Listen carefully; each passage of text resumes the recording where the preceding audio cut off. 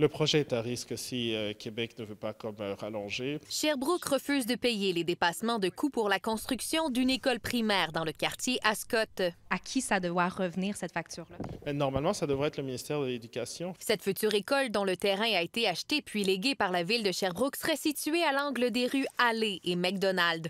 Le ministère de l'Éducation a refusé les plans du centre de services scolaire de la région de Sherbrooke, qui étaient avancés à 30 C'est que le projet présente des dépassements de coûts de 900 000 pour l'aménagement d'une voie de service de 69 mètres. Québec veut refiler la facture à la ville. Sherbrooke dit avoir rempli sa part du mandat. On s'est permis en plus d'acheter un terrain supplémentaire pour préserver un boisé et faire un parc, un milieu naturel juste derrière l'école. En plus de ça, on offre tout ce qui vient avec le terrain, que ce soit les installations, les trottoirs. À la quantité d'argent qu'on a déjà investi, là, c'est pas qu'on veut pas, c'est qu'on est comme pris jusque-là. C'est au gouvernement du Québec à prendre ses responsabilités. L'éducation, c'est une responsabilité provinciale, c'est pas une responsabilité municipale.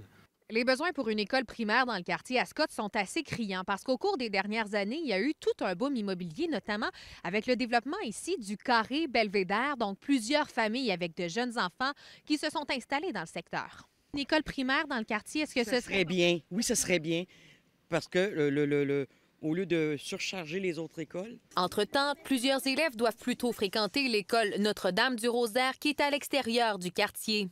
Nous, c'est une main tendue on veut que ce projet-là se réalise. C'est un milieu unique pour les enfants. On en a besoin dans le quartier. Les familles l'attendent. Devant cette impasse, le centre de service scolaire dit réfléchir à un plan B ou à un plan C. Mais pas question d'abandonner le projet d'une école primaire dans le quartier Ascot. Est-ce que le délai, l'ouverture de l'école peut être en péril? Euh, oui, c'est sûr qu'il va falloir.